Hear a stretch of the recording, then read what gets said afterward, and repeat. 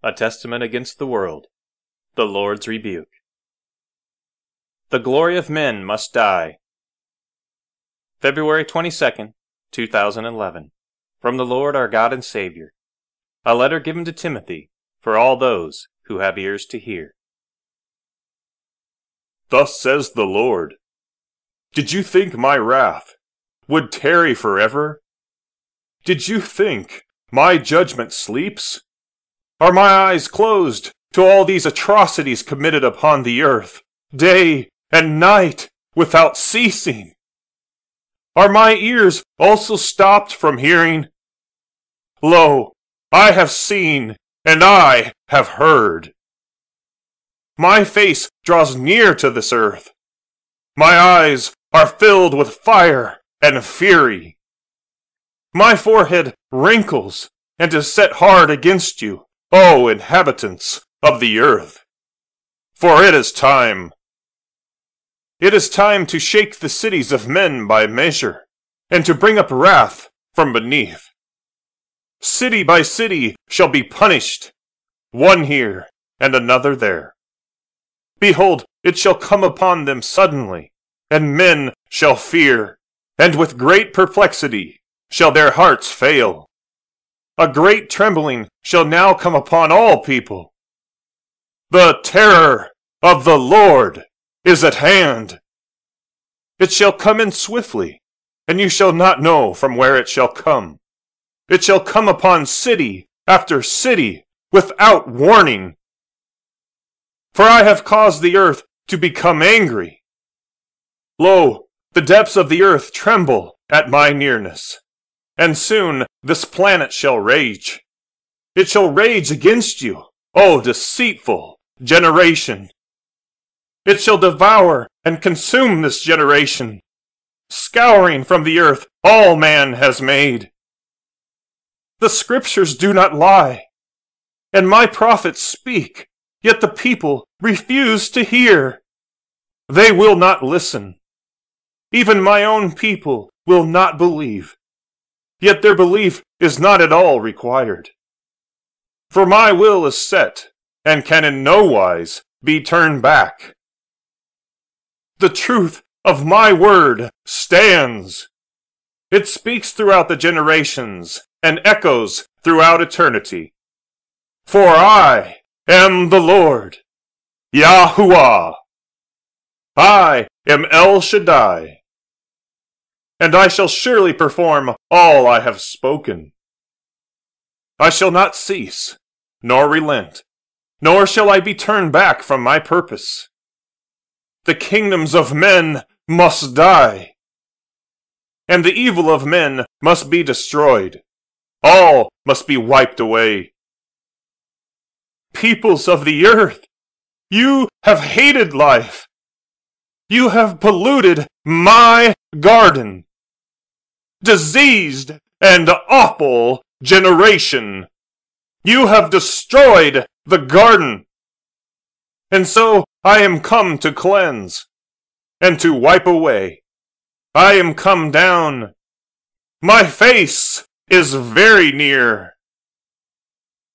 Do you feel the heat of my wrath, O ignorant and vain peoples? You retain no knowledge at all. Only greed and wickedness, wickedness upon wickedness, passes before your eyes without ceasing. And oh, how you love to have it so! Dead generation! Your hearts are stone. Day after day you build up wrath. The vessels overflow. Day by day, the bodies are stacked up in heaps. Day by day, the unborn are slaughtered. Whole generations of people murdered without cause. Multitudes of innocent cast off as refuse. Yet you think me too harsh, and my punishments too severe, my judgments unfair. I am the Lord, and this is my earth. These are my children. all you see, from the ground beneath your feet to the farthest reaches of the universe, is mine. And I shall do as I please. I shall do according to the counsel of my own will. For I am God. Therefore, O peoples of the earth, because you have slaughtered the innocent and murdered your neighbor, lo, you have even made for yourselves laws, that all may do their pleasure in unrighteousness, and perform evil at their leisure. So then shall I also declare my law, and it shall fall hard upon the backs of all nations. Yea, I have put forth the decree, and hasten to carry out your sentences, O peoples of the earth. And what is the sentence, you ask? Look upon the slaughtered innocent. Look upon their torn and broken bodies. Behold how they are torn in pieces. See how their blood pours down and their limbs are strewn about. Look! Look how they are scraped out of their mother's womb. Look upon the works of your hands, you evil and most wicked generation. Look upon your wickedness. Look upon all you have done. Thus says the Lord God, Creator of heaven and earth. Because of this blood, which remains on your hands.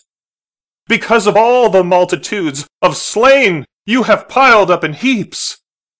Because of the evil works of your hands, in where you have agreed together to both do and allow them, to make them law. Thus shall I, in like manner, do unto you. In like manner shall you receive at my hand Lo, even double shall you receive at my hand, and double again, until there is no place found that is not laid waste, until every land is polluted by the stink of rotting corpses. Both man and beast shall lie down in death together. They shall be as refuse upon the land. I shall tear down your cities and break apart all your dwelling places. I shall tear your leaders in pieces, and pour out the blood of your mighty men upon the ground, until it reaches unto the neck.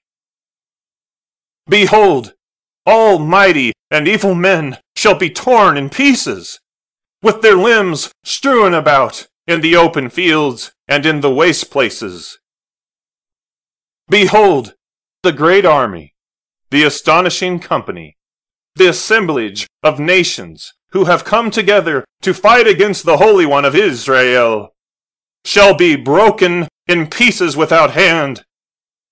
For strong is the Lord, and sharp is the sword which proceeds from his mouth.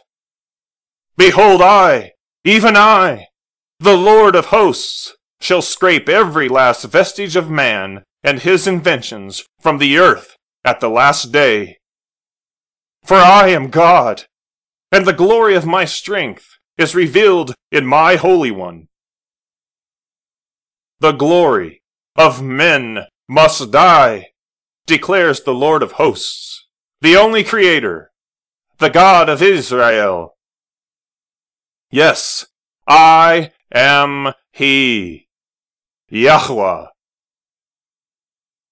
Hurry now, those who hear.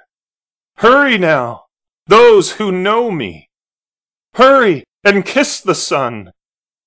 Hurry now and kiss me upon my face, all you who know my name. Yahushua, Yahuwah.